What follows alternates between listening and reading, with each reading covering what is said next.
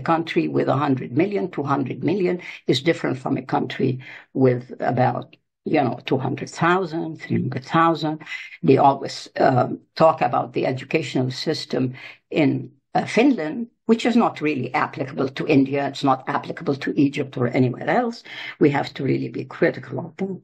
So we have to take cultural traditions, levels of development, demographics of a country, level of education, all in consideration.